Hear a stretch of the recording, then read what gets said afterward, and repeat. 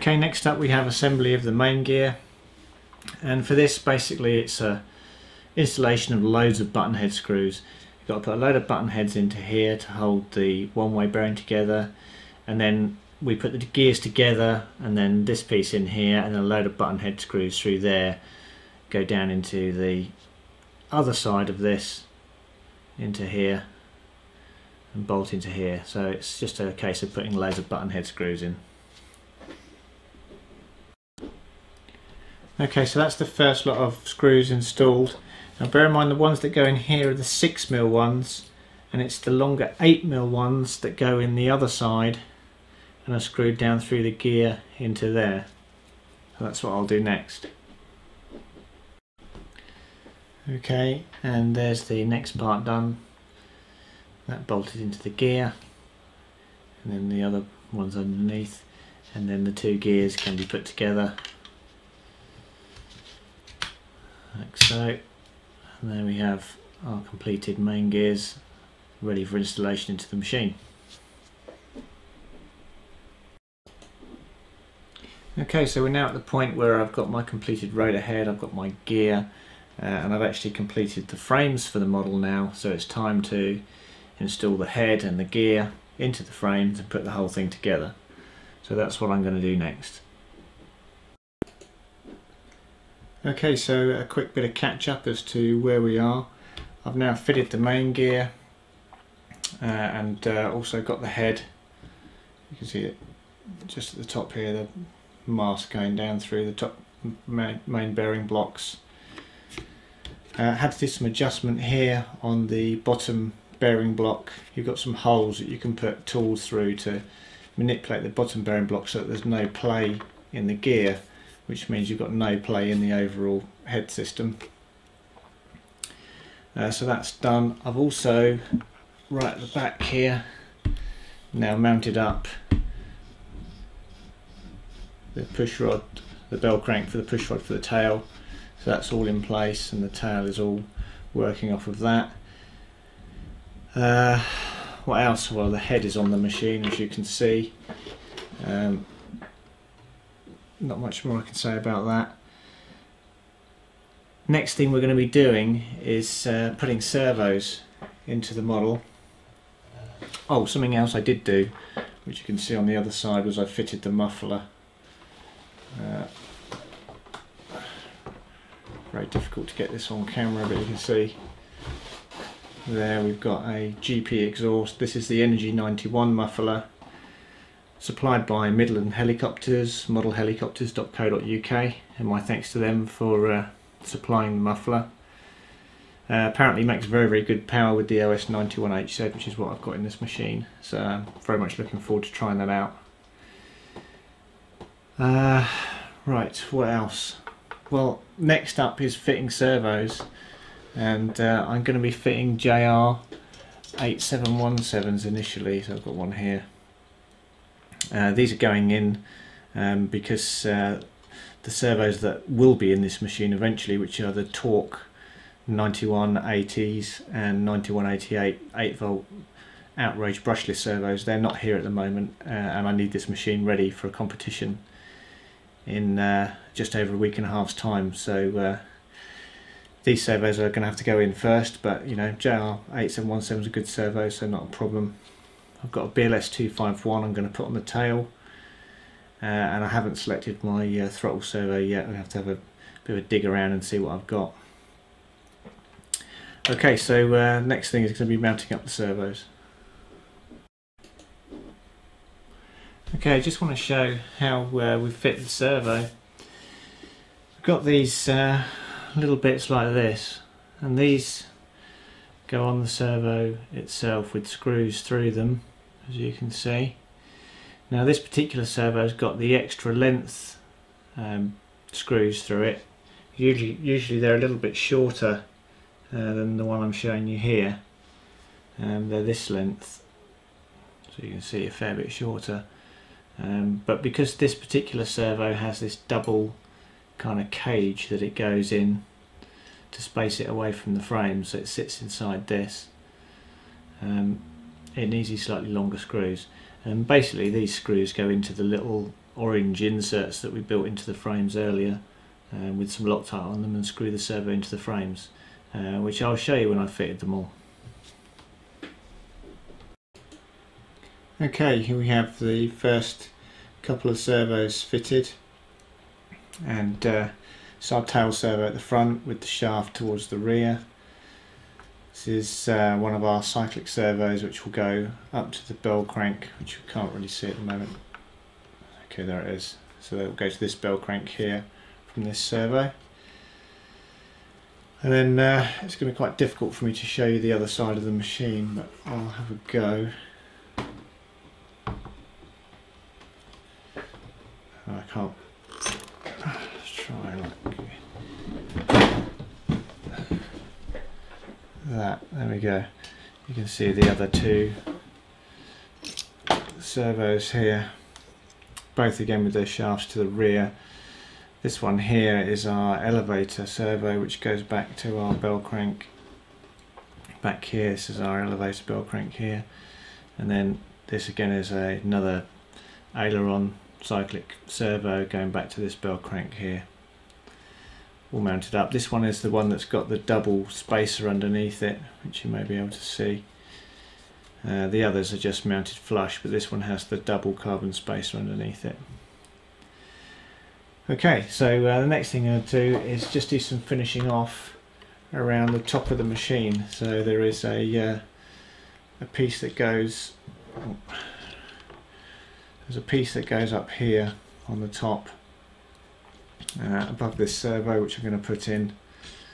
Uh, and I think that's uh, it for the moment. Okay this is the bit I was just referring to. It's just like a little shelf or flat which goes above the servo and it's mounted with these four screws. So I'm just going to put that in place on the top of the frames. And then in terms of mechanical build the, the machine is virtually finished. We've just got some push rods to add to it um, and the servos to set up effectively and the radio gear to install. Okay, so here's the plate that I've just now mounted into the frames. Provides a nice flat area, again for you to mount some pieces of equipment if you want to. Could make a decent gyro platform.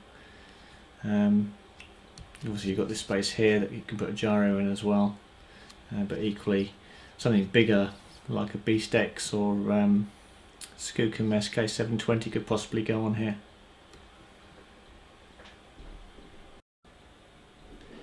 Okay, really quite a lot to talk about in this next section because what I've done is I've gone ahead and finished off the model completely uh, the things that we were doing when I last spoke to you was fitting the main gear and the head to the machine and um, it's a fairly straightforward process. Uh, we built up our main gear and you basically insert it into the frames as you can see here and then insert the head down through it and you have to loosen off these bolts here in order to get the uh, and the upper bearing blocks as well in order to get the main shaft to drop down through this lower bearing. And then you can use a tool which you put through the hole here and you basically lever the bearing block up so that you've got no slack in the main gear, no vertical play and then tighten up the bolts and then tighten up the bolts above. Uh, and then put your bolt through the gear which if I lean this back you can see it in there. There we go the bolt through the gear put that through and that secures it in place. And then after that really it was just um, installing servos and making up servo rods and putting the servos in place which you can see here. So uh, I've got my servos in. They're just screwed into place. Um, made up the rods to go on here and made up the vertical rods here uh, and clicked them on. Also made up the tail rod as well. Clicked that into place. Uh, similar stuff for the other side of the machine and then beyond there, it was really just a case of installing all of the radio gear, which you can see up front here. So I've got my gyro, CSM 720 gyro and a Revloc 30 governor. It's my satellite receiver for my Spektrum receiver. The receiver's under here. I'm going to put my pack, receiver pack at the top here.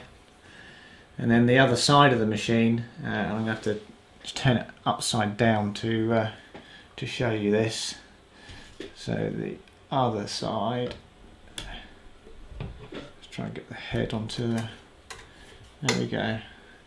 So you can just about see this here but this is an LEQ regulator that I've got the other side. Uh, it's my throttle servo here uh, and the other two cyclic servos. So let's turn it back up the right way again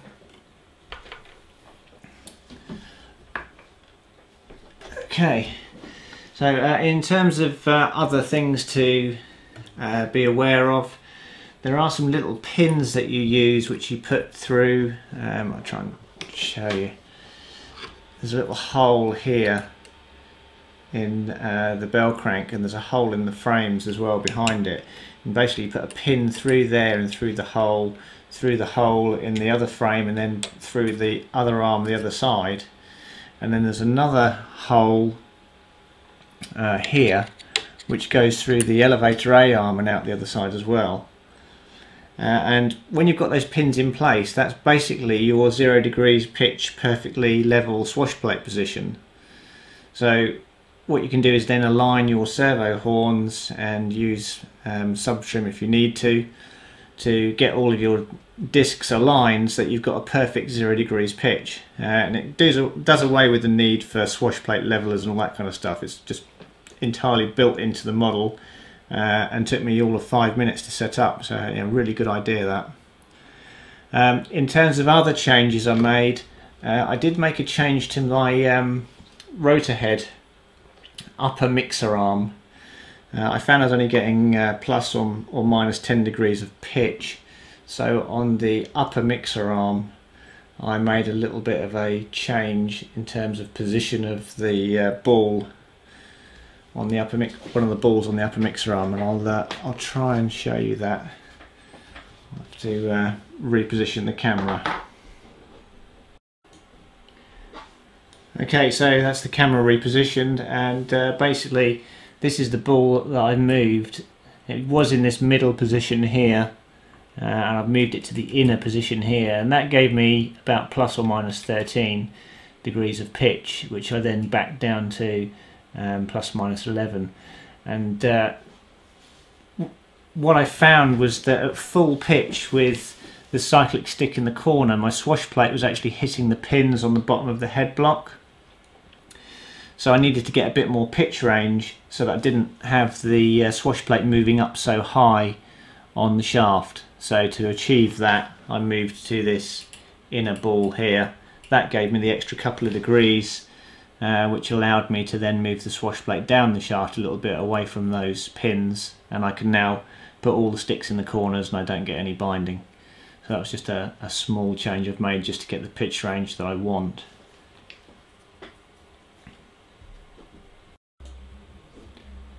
Okay, so in terms of video that I can actually do in my office here, um, that's pretty much it. I'll do a video at the field where I can actually get around the machine a bit better, but in terms of stuff I can show you on camera in my office now, the machine's just too big and unwieldy to manoeuvre it to, into positions where you can get a decent look at it. So uh, I'll do a another video at the field, uh, give you a really good look around the machine now that it's built, um, and then uh, we can uh, have a look at uh, filming its maiden flight and seeing how it gets on.